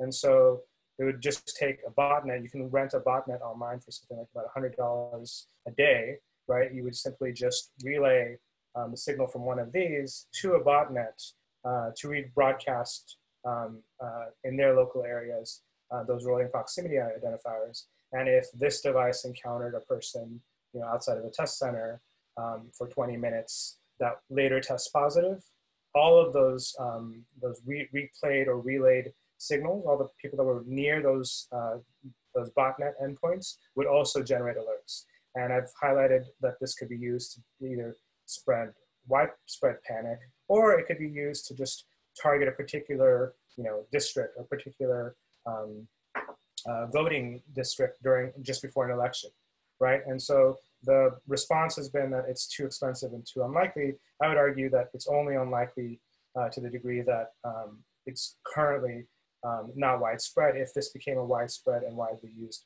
platform, then the likelihood of an attack like that would go up. Um, and so, uh, you know, we uh, folks might have seen the the Washington Post headline today that the FBI is expecting mass scale disruption around the election. And I think this is another example of kind of short-sightedness about the fact that we've created yet another vector that could be used to, to sow disruption if you wanted to. Uh, which then, uh, uh, probably running out of time, I'll just go quickly, brings me to my second point, which is that, um, that the, the decision on what these trade-offs were were made bilaterally, right? Um, and not only around the privacy, security, and kind of abuse concerns that I highlight, but also around the efficacy, right? The fact that the earlier speakers have, have also flagged that, that even though this was initially described as a contact tracing protocol, it was later changed to exposure notification protocol. And as many health officials and others have argued, um, this system that introduces all these concerns that I just highlighted um, may not actually effectively um, uh, fulfill the role of actual, what we need for contact tracing.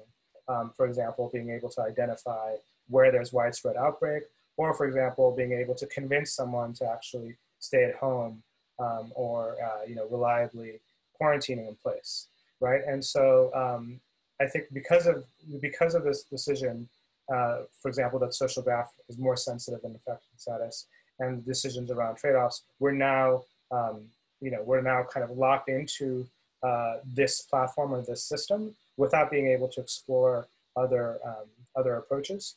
And this goes back to you know the, the fact that um, like in other areas, um, large kind of these large incumbents are able to completely capture our attention and force us to focus on their platforms rather than the pressing problems that we need to address to uh, deal with this pandemic. Excellent. Thank you very much, Ashkan. I really appreciate it. Uh, insightful as usual.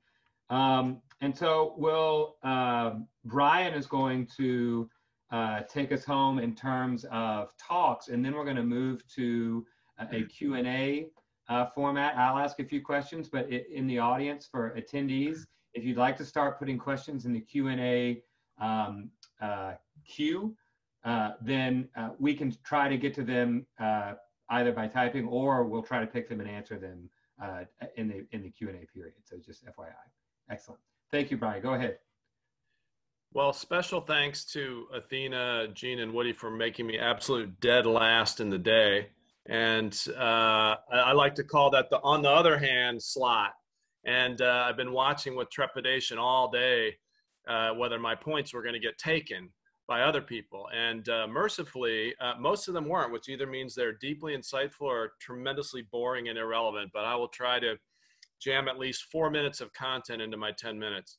Um, I wanted to come at this from the standpoint of a policymaker, which I was in a couple different administrations, in particular after 9 11, 2001, uh, in the area of trying to decide what sort of technologies to use to fight terrorism and how to protect privacy and civil liberties while doing that.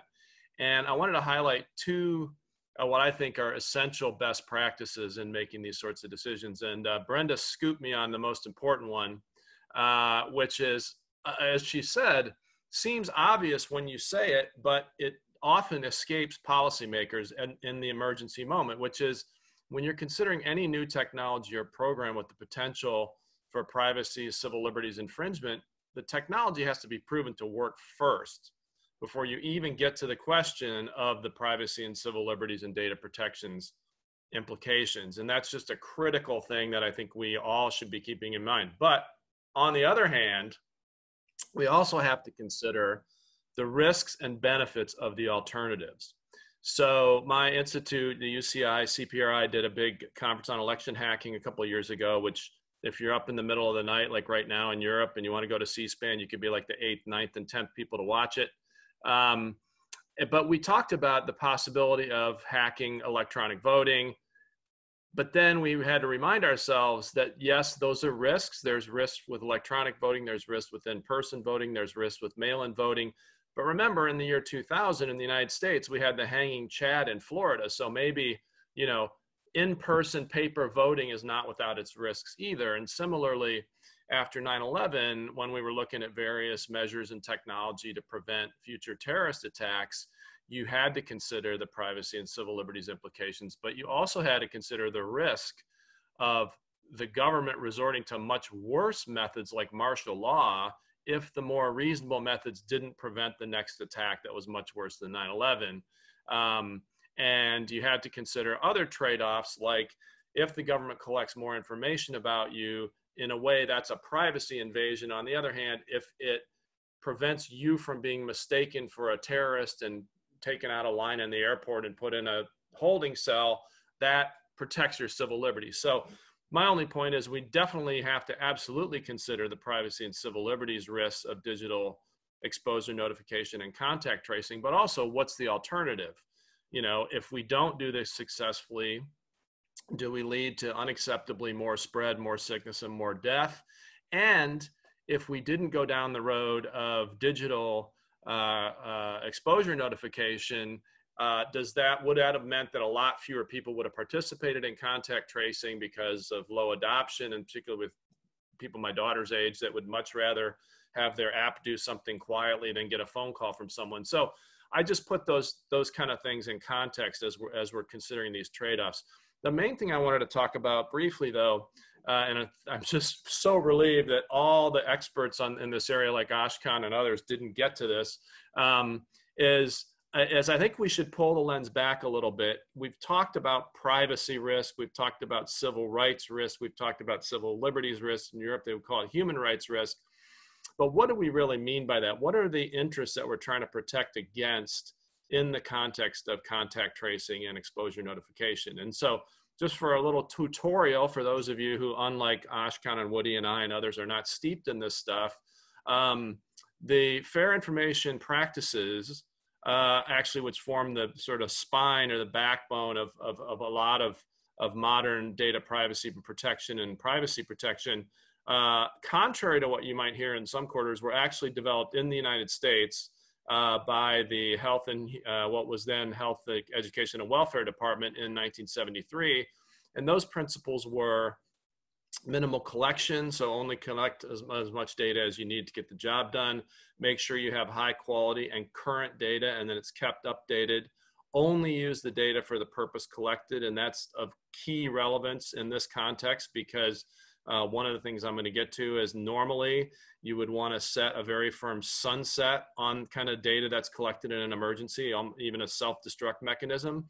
But in this case, I don't know because epidemiologists are going to probably want to be able to have this data to do meaningful research in the future. But anyway, um, only use it for the purpose collected, keep the data secure, uh, minimize uh, accessibility to it, when you can, you should have individual consent and control over the data. And this gets a little bit to Jessica's distinctions between public health and national security. Leave all of the apps in the United States are not only opt in, but you have to actually, in most cases, be approved by your state government to use it.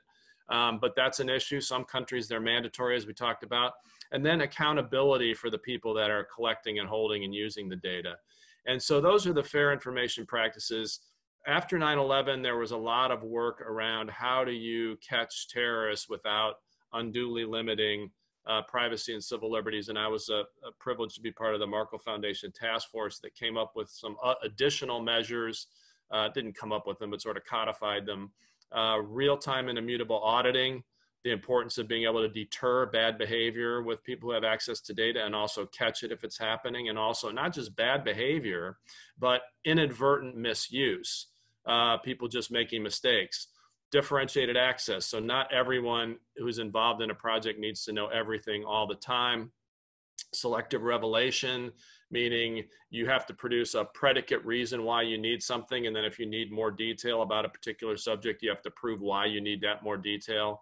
Um, I mentioned earlier automatic and regularized data destruction, or at least some sort of system where uh, when data is collected, it's presumed that it will be destroyed at a certain point unless uh, individual accountable person you know signs an electronic document that says here's why we need to keep it longer.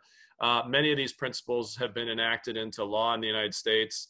Uh, additional responsible data use principles in the context of a pandemic could include try to match the data that you collect to decisions that are necessary as public health decision makers. A prior speaker put this in terms of share wisdom, not raw data. Um, beware of the shiniest new technology. Just because it's new and interesting doesn't mean we have to find a use for it. Um, try to, and we may, the horse may already be too far out of the barn now, but we should try to always set the data use rules before we actually collect the data rather than trying to make it up as we go along uh, create robust data governance processes and oversight. Uh, I think it's unclear. I haven't studied all the various contact tracing schemes in the various states in the US, uh, much less overseas, but at, at, least a lot of the governors are paying lip service to that concept. Um, respect the individual liberties and dignity of every person. Um, just because there's a good reason to have someone's health data doesn't mean uh, you don't have to be careful with it and protect it. And then, as I said, um, set an end date uh, to get rid of this information unless there is some clear articulated reason to keep it. And then finally, and I put this in the chat uh, earlier, I probably put it in the wrong place though. There was a little bit of a debate going back and forth about, well, do we want to trust or would we rather trust Google and Apple, or would we rather trust the U.S. or, or other governments? And my view is, in, in, in modern times, that's a completely false choice because any gov- almost any government can get any information that a private company has with very little legal process. In some countries, no legal process at all. So I don't think we should make a presumption that it's better that uh, big data is in the hands of the private sector or it's better in the hands of the government. The point is I think, to build in the right protections and hold people accountable, regardless of whether it's the government or the private sector uh, doing the collection. And that's 32 seconds left. Um, so I just would make one other comment uh, to, to one of Jessica's points. I think the uh, the difference between public health and national security is very well taken. I think it's also collapsing a little bit over the last few decades. Um, if in Europe, for example, under prior data protection rules, national security was kind of completely exempted from the data protection directive, and now it's not fully in the GDPR, but it's more applicable. And likewise, I think even with even with what the Supreme Court in the United States might turn out to be soon, I think there still may be enough votes in that court to do a reverse version of the mosaic theory to basically say even if the government had a lawful reason to collect a piece of information, doesn't necessarily mean that without a warrant they get to combine it with any other information they want and do whatever they want with it. And and Jessica's right. Historically, that has been the law in the United States. Once you've lawfully collected it, there are very few controls over what you could do with data if you're the government. But I think that might be changing. And I'm exactly out of time. Thank you. Wow excellent job, Brian, both with punctuality and with the substance of the talk. Um, so that actually leads perfectly into the question that I was going. i would like to ask a few questions to the panel at large, and all of you can respond if you want because we've left plenty of time for Q and A. Before we do that, I, Brian, do you have a list of those recommendations anywhere that you could post as a link somewhere? Because there's a, I was I was furiously scribbling trying to write down um, what what you were uh, describing as as sort of sort of additions to the standard set of fair information practices, but I missed it. Yeah, I will. Uh, I'll put a couple links in the chat.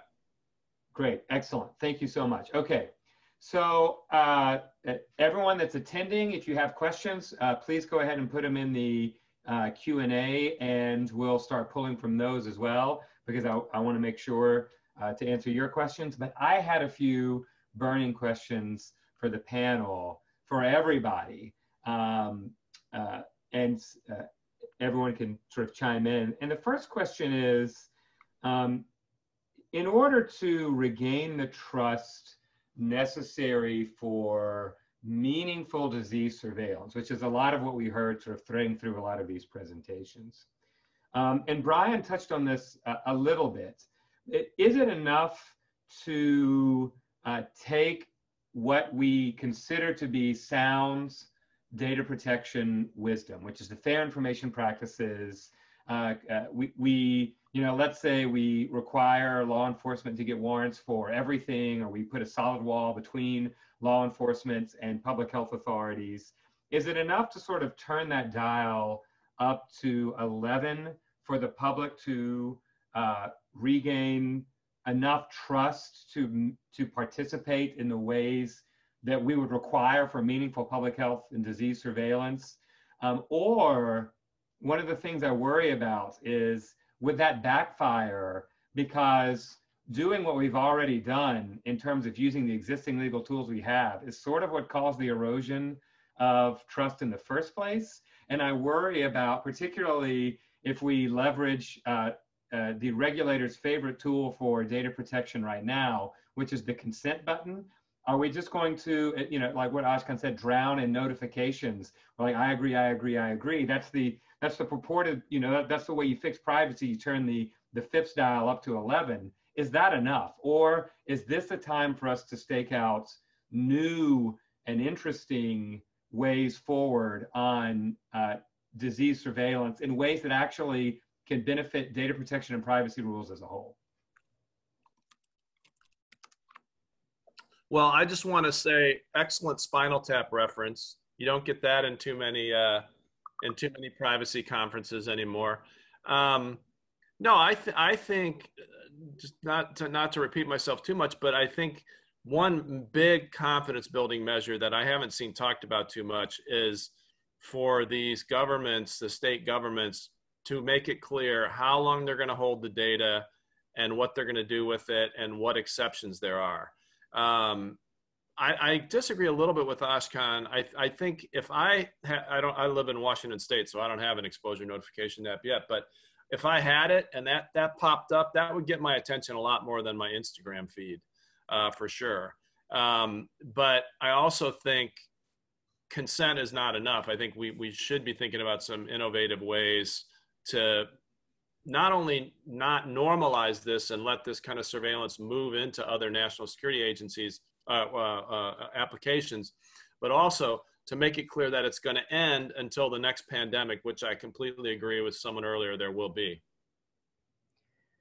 I will just add one point, not on the, the um, basically on, on a, a, a ratcheting the other direction, which is with the latest OS updates, as folks know, the um, API, and if you if enabled, even without an app running, the API will kind of log those exposure events until the point you hit consent, at which point it will have kind of a, a, a backwards looking log of those exposure events on your phone, which I thought is an interesting um, pivot to the consent. Typically, we, we consent from the point forward and it go, it's kind of, we will begin using this app the, the platforms have taken the position that um, backwards looking collection should happen um, until the point at which users want to go ahead and download and consent the Washington State app, you'll have some some history to start with.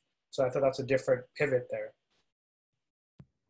I would um, just like to kind of question the restore trust aspect. I'm not really sure in the last digital modern age there's been a lot of trust to restore honestly.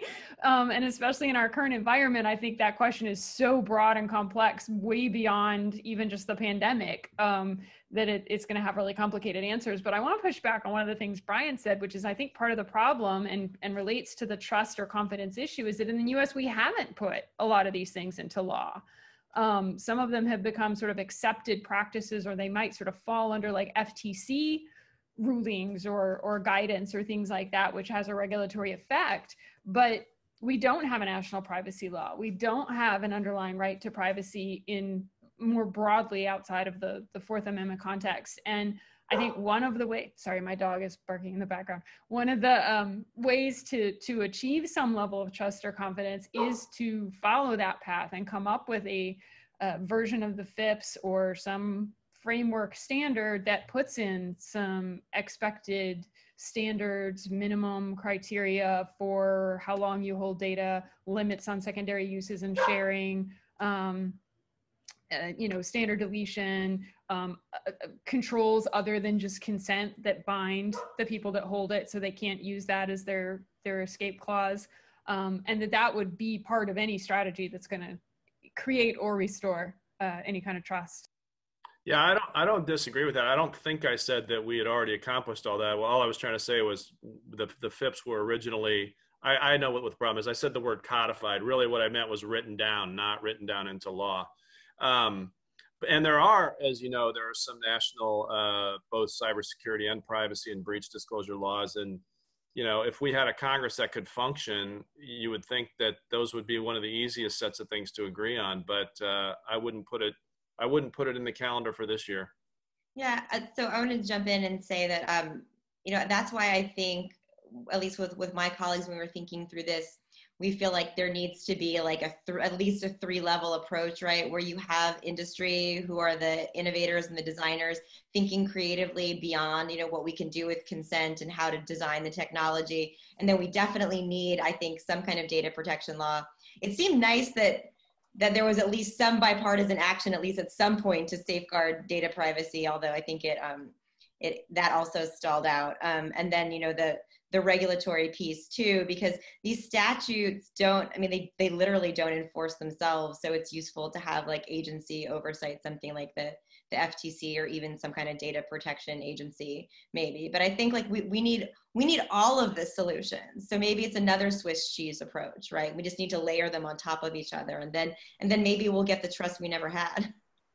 Well, if I could just add one thing about trust is I also think about value to the person who is giving out the data. I mean, why do people um, why do people use apps or use various tools in which we willingly for you know give up our data and, and become the the um, you know become the product it's because we get a value out of it. And so i think we can think about what is the value that an individual gets out of that surveillance and that's when we really start thinking about things like accurate disease forecasts um, that are individual that i mean what what actionable information can does the individual get from giving up something? And so i think that that's where you where i think most people on a daily basis i mean someone like me does but on a daily basis people don't you know walk around saying gosh you know i'm, I'm really so glad that there are disease surveillance systems you know so um, so think i think that that's one i mean obviously most of this is a, is a legal question but i do think that there's a small part of of what does the what does the individual get in return?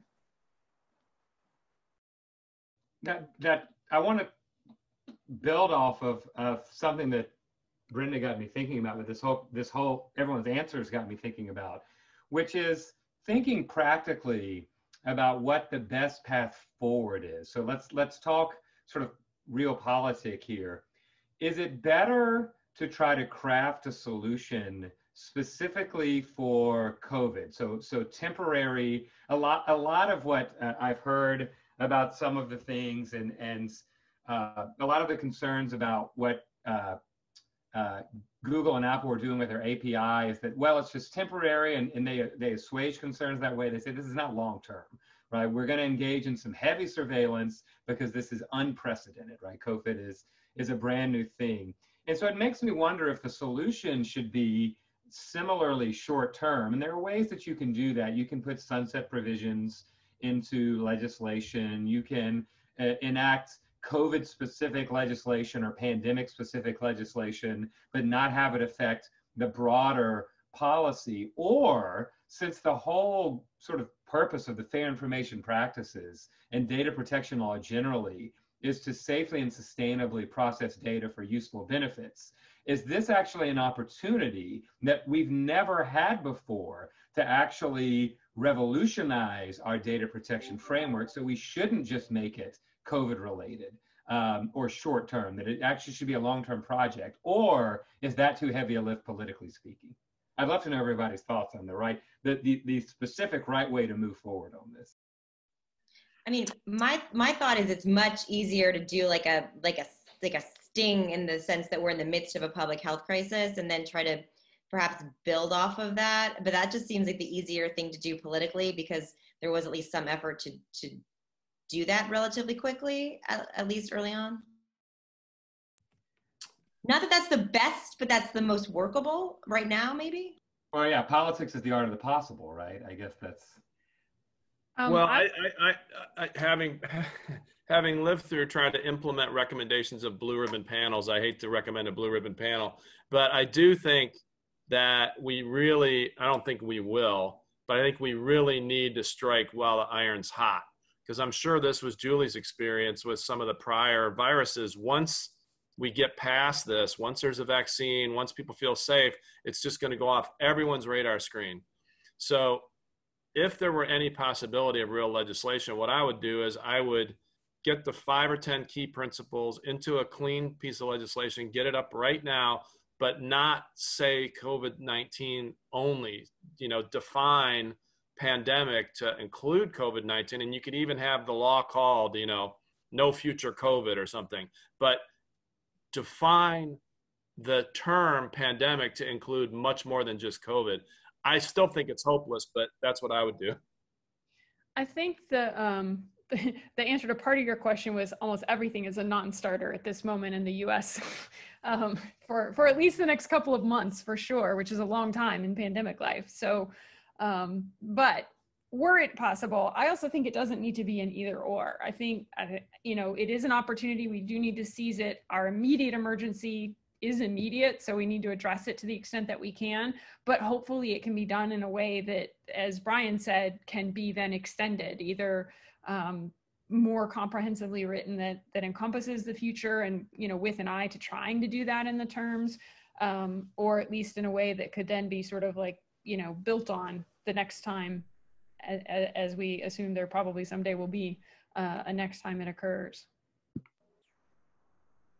well, there's also lots of things that are lots of actions that are triggered by a, a, public health emergency. So, I mean, if we look for a middle path, you know, there are a number of powers and activities that can only take place if there's a public health emergency, um, which is a obviously a very is a broad category of activity that you know that can be declared by certain peoples in the in certain people in the U.S. government or certain roles in the U.S. government. So one could imagine, and one can also have a public health emergency that stands over a long period of time just because someone says it's a public health emergency. So you could always you could say that influenza is a public health emergency till the end of time, and you could always and then certain powers or certain uh, um, protections or certain authorities could always be around that public health emergency. So I guess my point is, is that if there's, I would certainly never recommend anything being specific to COVID-19 because all we know is that we're going to have something else like this and why would we ever want to start again? But if we're not, if it, it wouldn't be tenable to go all the way to have things all the time, then there is a middle path. Yeah, it, seems like you would, in the very least, want something that was. I mean, we've been. This is sort of like we're going to have some surveillance, but only for the war on drugs or something like that, which is like you know going on forever. And so, in the very least, you. It, what is familiar in the U.S. system of, of data protection law is creating uh, subject-specific kinds of frameworks, right? So we protect children and we protect financial information. So it wouldn't be that unheard of to try to create a long-term sustainable solution for disease surveillance. Um, I want to go to some of the questions that are popping up uh, in some of the, the chats, the panelist chat and the Q&A. Um, uh, and then we'll, we'll go back to some questions, some other questions that I had. Um, so Nalini says to all panelists, I would like to hear some more about uh, what retention and erasure policies are meaningful from a public health point of view. How long does COVID specific information about individual contacts need to be held to have utility? That's a good question.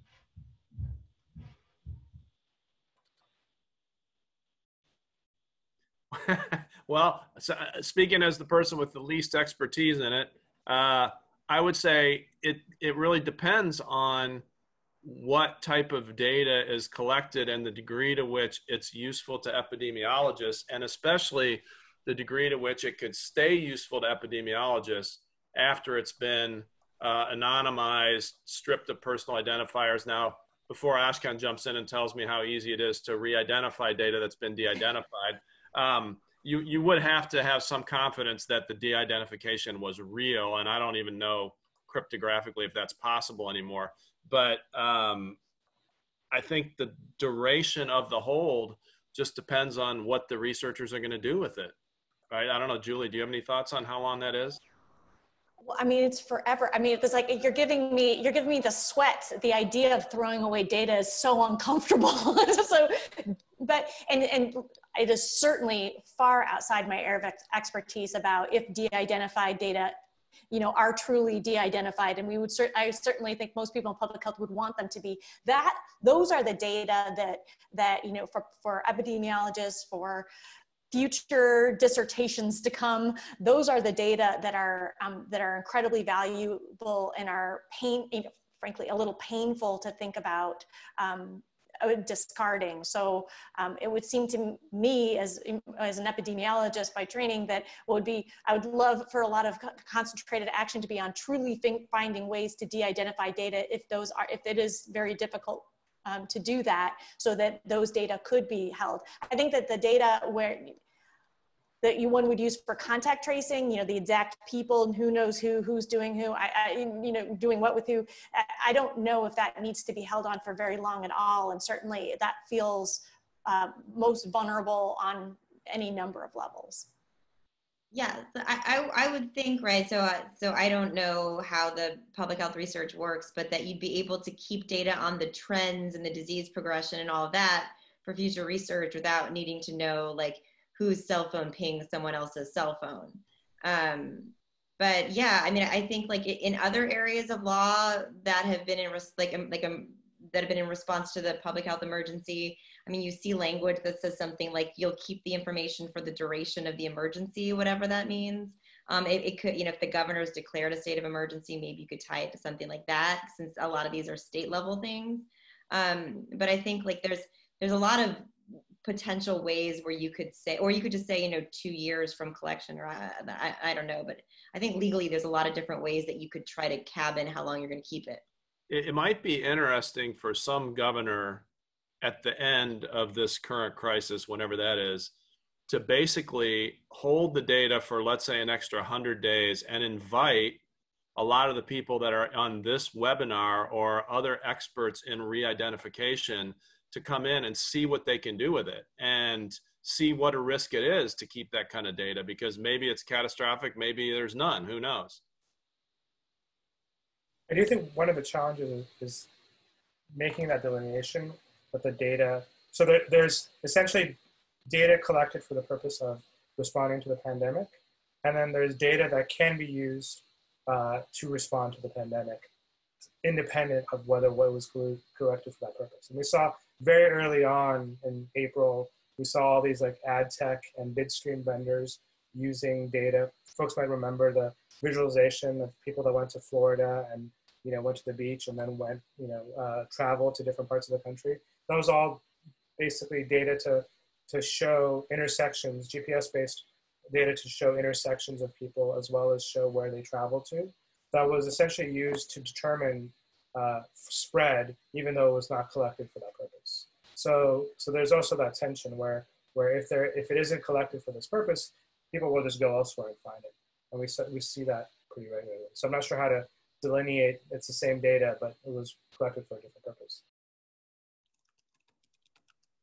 Yeah, is there, is there any sense of, of uh, what the threat modeling is for public health data over time with respect to de-identification? Because, because I, I get the sense that as time goes by, the, the threat risk changes. I don't know, maybe we need to talk to someone that does de-identification work. Well, I, I know this, Woody, that in general right now, almost any kind of, and even before COVID 19, but especially now, almost any kind of healthcare related data fetches more on the black market than credit card data, than social security numbers, than almost any other kind of data because it's so useful in insurance fraud, in pirating research, in who knows what these you know adversary governments are doing it doing with that data but but it's very very valuable that yeah, that tracks. I can I can I can see exactly how that is. So that does sort of change our our um, our threat modeling a little bit on that. Scott Jordan asks, both CCPA and GDPR contain some exceptions to certain privacy requirements for certain. Oh, did it just get answered? Oh, that was me. Sorry. Sorry. That's okay. I was gonna I was gonna ask I was gonna ask the whole panel if anyone wanted to um, respond to Scott's question, but then I lost it, and I don't know where it went. Well, well, let's see if people disagree. What I what I said, I I feel like I have to answer Scott quickly because he and I work together. Um, well, can you uh, question fully? Uh, yeah, uh, he was asking. Uh, let's see. Um, uh, now I moved it to the. Uh, uh, it's hard to find now, but I don't know, Scott. If you want to just ask it. Want me to read it? I've got it up. Yeah, yeah, yeah. Go ahead.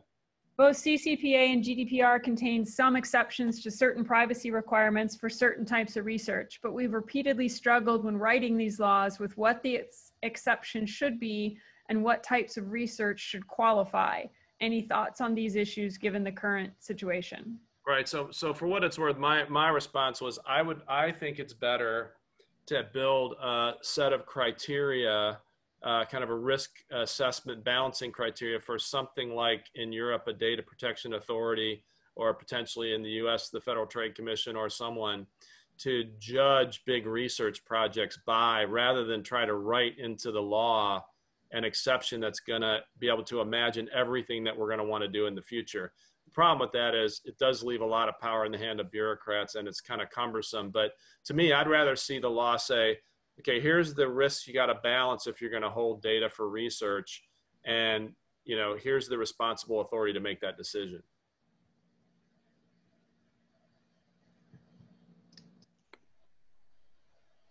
I mean, there's also, you know, existing structure around use of data for research in the form of IRBs and things like that now. So whether that needs to be expanded or explicitly made to address health data or health data collected in a public emergency as sort of its own special category? Or you know what harms are going to be weighed what consent levels are or are not required are all sort of potentially new or new old questions in a new context.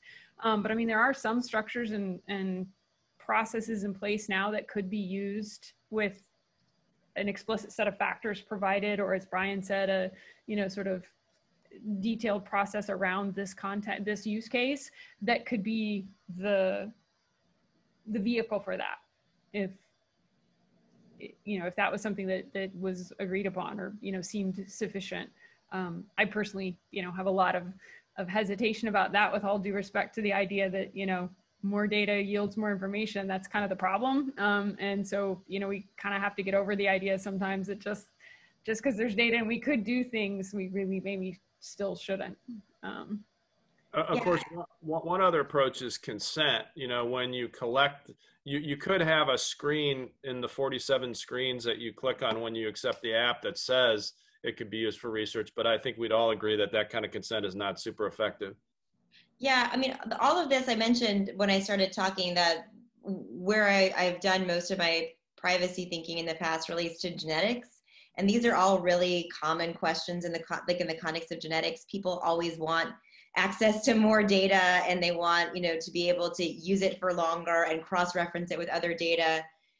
And you know I, I think that at least in the context of like consumer genetics i mean all, all, you do have is a box that you check and you say that i agree to share it with researchers and we think that that's enough in that context. And then depending on who's doing the research like if we're talking about certain kinds of health data you know you have like the common rule coming in and, and things. So there are so there are research regulations once we get in if if research is the type of secondary use that we're talking about we enter then a new a whole new framework i think related to to privacy and how we deal with the data. But i think that you know depending on what the research is at least when I've been thinking about um, sort of this, the secondary subsequent use issues here, I'm not worried about the data so much as I'm worried about the, the government. I mean, I'm not worried about, I'm worried about the data. I'm not worried about research on the data so much as I'm worried about the, the government. Um, and as far as, you know, secondary or subsequent use goes, I feel like,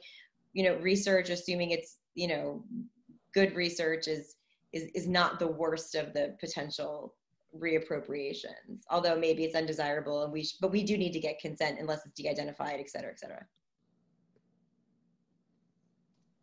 I just, I just want to uh, recommend everyone. Jessica wrote a great paper on uh, the Genetic Information Non-Discrimination Act and privacy. Well, you've actually written a lot of papers on the Genetic Information Non-Discrimination Act. The one that I most recently read is the one I'm putting in the chat. Um, I just want to, I want to float a question. It, so, is it the opinion of folks here that the information we're talking about, essentially proximity to someone else, independent of the coronavirus test, is that, are we talking that that's kind of medical information? Are we describing that because at the, at the core, the th- like separate from whether or not you've been tested and infected, the information we're talking about is literally our social graph, as we would describe it, right? And so, are we describing that as medical information, or are we talking about something different, or location I, information? Can I jump in and say that this is such a, I think this is a great question for people that do health research. Oh, I, so I'm hosting a workshop in my, at my center that the theme of it is, is all data health data now, right? If you look at, you know, the people you have interactions with or your zip code is all deeply predictive of health. And we have the social determinants of health. And so we are kind of in this strange world where social, social interactions are do in fact inform health research in a way that might not even though they are not what we would call traditional medical or health information.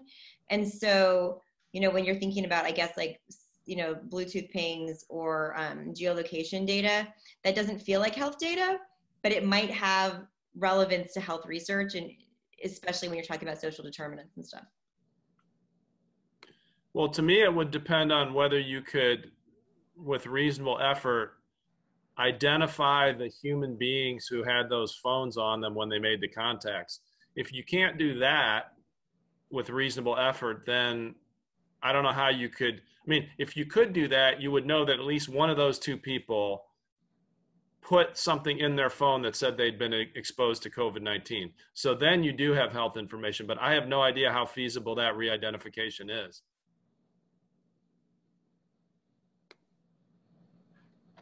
Scott has a question, and I'm going to see if I can allow Scott to talk. So I'm going to press a button, and Scott, I see your hand raised. Can you talk now?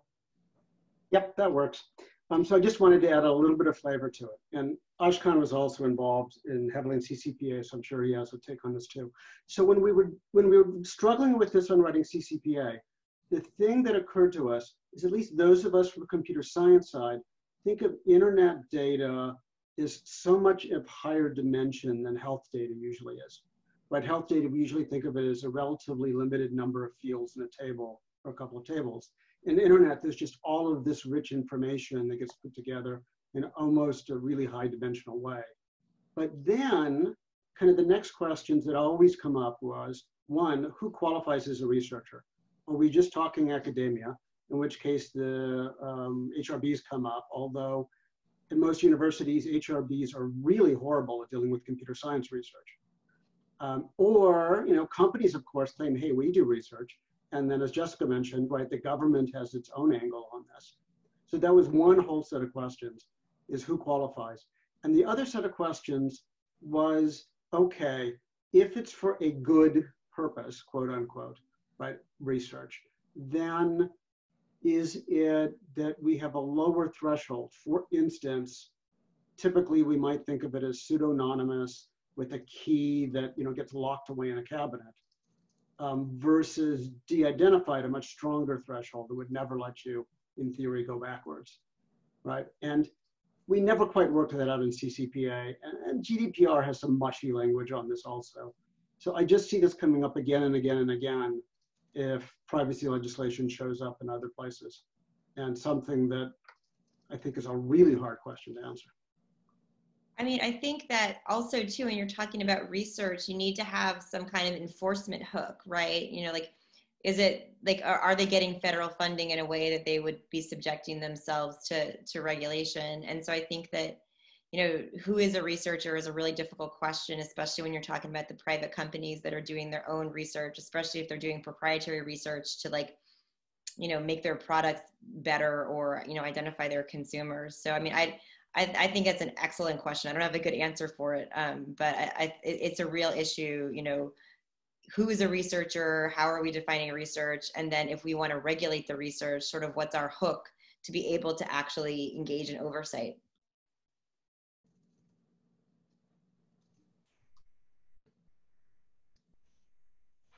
Anyone else? Well, just just along those lines, if you could get, and I, I don't have any idea this may already exist, but if you could get uh, the National Science Foundation and a couple of the other big 900 pound gorilla federal research funders to adopt regulations around this, that would, I think, cover a very large percentage of the university based research. I don't know that that would do much good for the private sector, although I know there are some NSF grants that that you get the grant if you're working with a private sector company. But that might be, that would certainly be easier than getting legislation.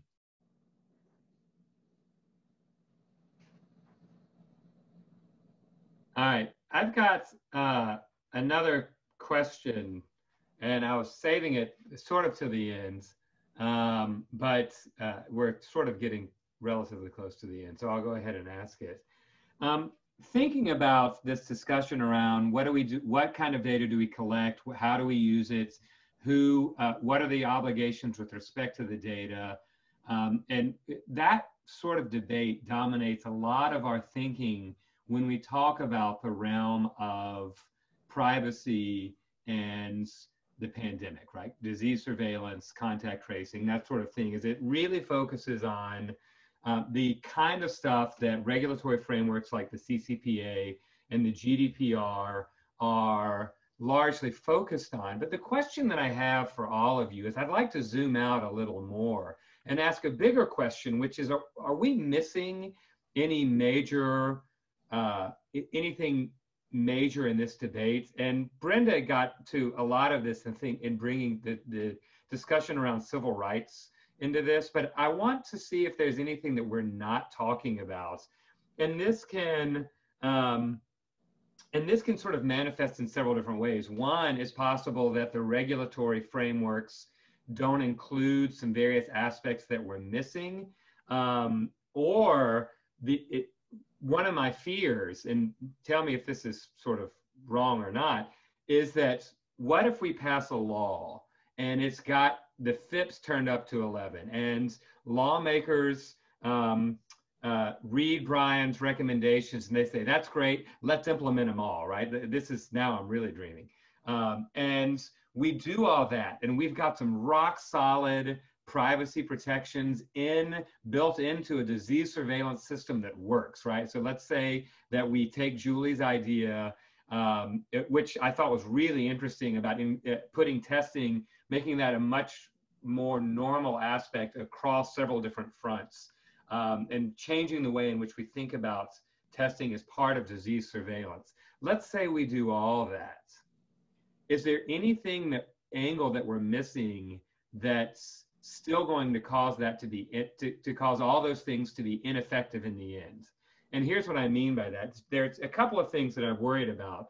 One of which is I'm worried about that we're not talking about surveillance technologies not used to necessarily violate people's privacy, but used to control people. So Ashkan made a reference to like Nextdoor, I think. What was what was the app? Where so to get so I'll go ahead and and um, uh, give you a preview of a case study that I've been working on with a PhD student of mine, uh, Joanna Gunnon, and where where someone uses Nextdoor, they implement facial recognition technology with it, and then Nextdoor, it's not next door, we use some you know fake app. It's like you know next door neighbors or something like that. Um, and uh, and they they use facial recognition technologies to basically crowdsource quarantine enforcement, right? And that to me strikes me as something that is not that far of a stretch given that people are already talking about, well, if you see someone gathering without a mask, you should take a picture of them and upload it. Um, and that sort of thing there, and Brenda brings up a really good point, isn't controlling people the ultimate form of invading their privacy? Absolutely. But that sort of departs a little from the standard data protection as privacy narrative that's been dominating a lot of this discussion. And we haven't talked about that really yet as part of this conversation. And should it be or is that something that we should sort of bite off in a separate uh, area? And that's one thing, right? Using surveillance and sort of social pressure and manipulation um, and those sorts of techniques. And what sort of regulatory tools should we bring to bear for that particular aspect of privacy in the pandemic? And then there's another aspect that I'm thinking about, which is disinformation and the amplification of, uh, of narratives that, that if widely um, adopted would, would basically run contrary to public health initiatives, right? And I'm thinking, you know, COVID is a hoax, or you don't need to wear masks, or masks are dangerous. Um, what if we do all the good stuff, but if we don't tackle disinformation, is it still going to be a problem? And, and, and are there other things like that that we're missing that unless we sort of tackle this holistically, we're really got have sort of a myopic view on privacy in the pandemic? That's my big, that's my big question. Well, I'll, I'll, I'll act like a law professor here and I'll answer your question with the question. Uh, I, I think I have a few thoughts on those too, but I think there's another huge one that can't be fixed by US legislation or regulation, but needs to be fixed. And that is some sort of more automated or non manipulable global surveillance and I don't know if Julie or anybody on the this in this group knows enough about how WHO operates to know whether, you know, I don't know who's at fault. I don't care, but clearly something failed that we didn't have people on the ground or they were misled or something that we didn't understand what this thing was until it was already here.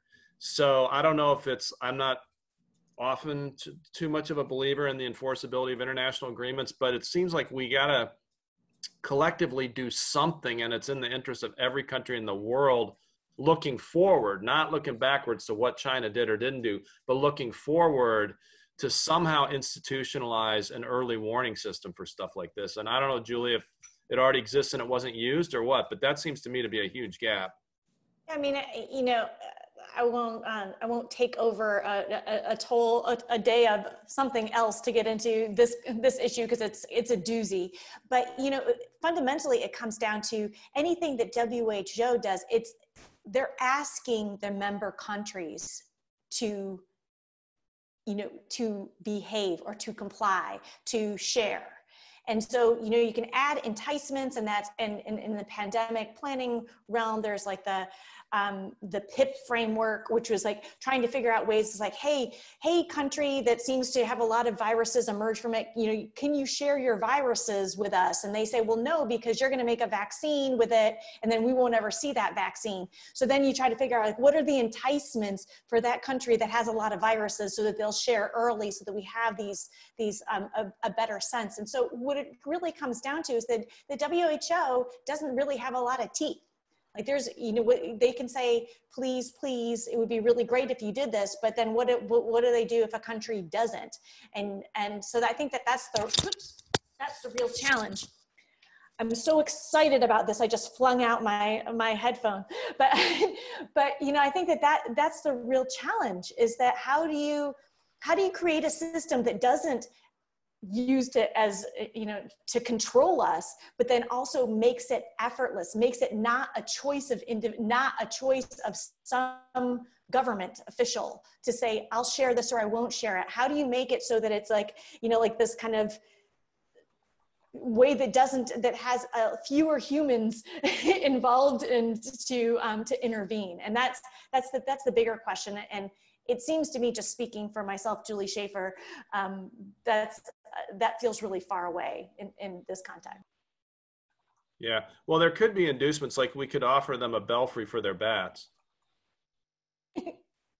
Or just like vaccinate all bats. I don't know. Bats right. seem to have a lot of germs. Hey bats probably have advocates too.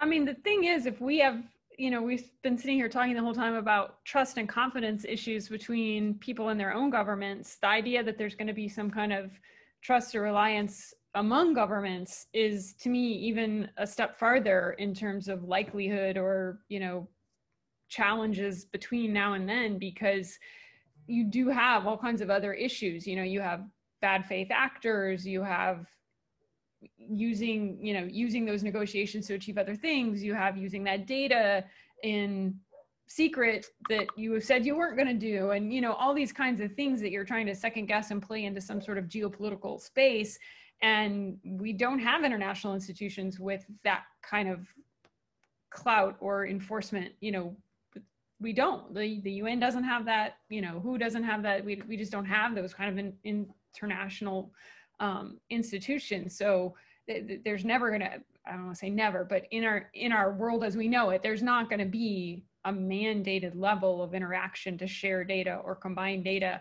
Maybe if the disease spread faster and was more deadly, you would get more people more quickly buying into hey we really have to do this now and we have to cooperate because we don't have any other choice but you know barring those kinds of of circumstances i'm not sure what makes that happen well, yeah, I think it's going to probably be a little bit of a darker solution. I promise you that every intelligence service in the world has moved pandemic intelligence from number 37 on their operating directive to number one. And um, if I were a CIA officer right now, I'd be getting plenty of vaccinations because I know I'd be spending some time in wet markets soon. And Woody, just just to your point, the the or to, to these points, the while the um, Prospect isn't currently implemented and expensive. It's not, so the nature of, for example, the distributed protocols are such that um, you, your phone is always emitting your kind of unique identifier, right? And the, the properties is that that's not tied to something. But the device that I showed you, like this little $40 device, the next version has a little camera on it, right? So all I would do is just log every proximity beacon and if associated photo of who I think was around when I saw that proximity beacon, right? Such that when the kind of the um, keys are presented to me from the key server, I can then look up and associate the photo of that person uh, from the uh, associated to the key and say, oh, it was Woody that was uh, emitting that that positive key essentially, and therefore um, I'm going to put you on a blacklist. So you need a wide, you know, you'd need a widespread, um, you know, uh, network to do that, right? You'd need, uh, you know, for example, I'd need to be able to collect enough people. But if I wanted to, for example, track you, um, I could, you know, have malware on your phone.